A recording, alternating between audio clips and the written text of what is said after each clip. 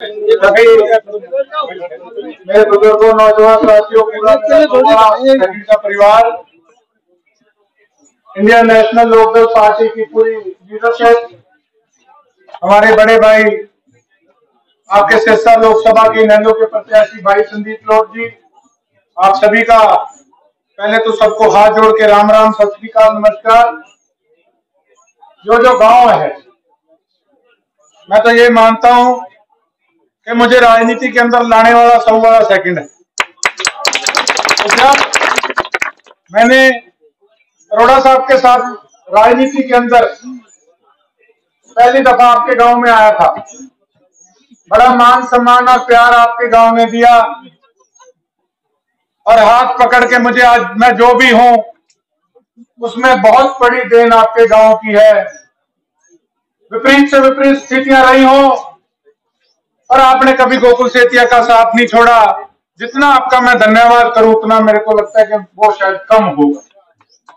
और Indian national Lokdal party ने विधानसभा चुनाव के अंदर आपके भाई को समर्थन दिया था।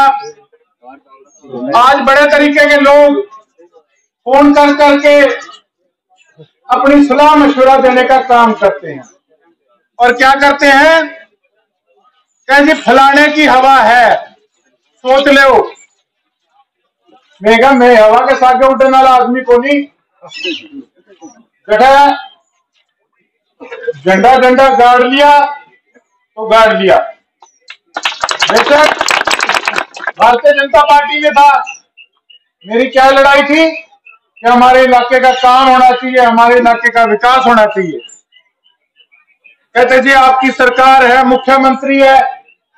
चाटना इसे मुख्यमंत्री ने जब कोई काम को नहीं करेगा हमारे इलाके के लोगों का? क्या लेना है? परमात्मा का दिया सारा कुछ है।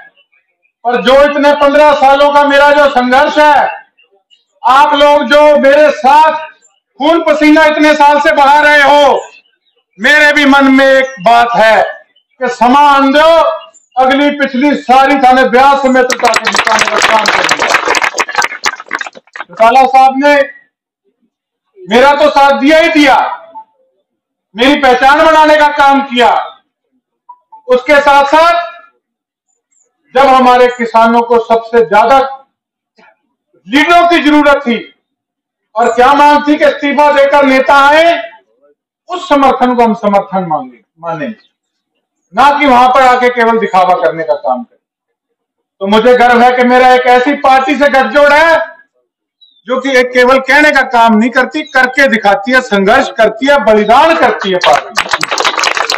और बाकी दूसरी पार्टियों की बात रहेगी तो कोई हवा हुआ, कोई नहीं, हवा बनाने वाले थे सारे खड़े हो गए थे ही हवा बनाओगा जब चौटाला साहब ने कभी पीठ नहीं दिखाई तो हमारा भी फ़र्ज़ बनता है कि चुनाव कोई भी हो, पाँच साल हम नेता से काम लेते हैं।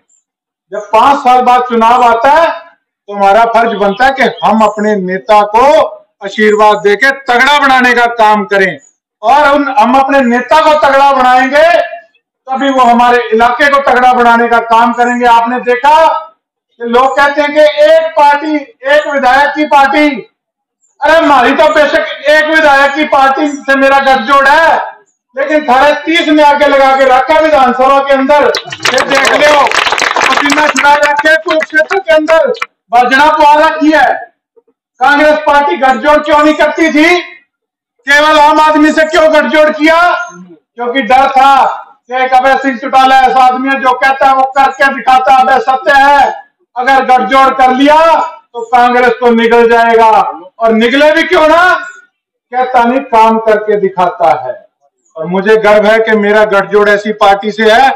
और व्यास समेत इंडियन नेशनल लोकदल पार्टी का किसान उतारेंगे और संघर्ष के समय के अंदर कंधे से कंधा मिलाकर साथ खड़े रहेंगे। हमारा भाई अपनी सरकारी नौकरी छोड़ के आपकी सेवा में आए हैं। कई बार लोगों के बीच में जाते हैं, कोई सरकारी नौकरी लगा हो ना, मन करे फ़ोटो खिंचाने का तो कहो फ़ोटो तेरे मोबाइल में नहीं, मेरे में नहीं मेरी नौकरी पे बात ना आ जाए।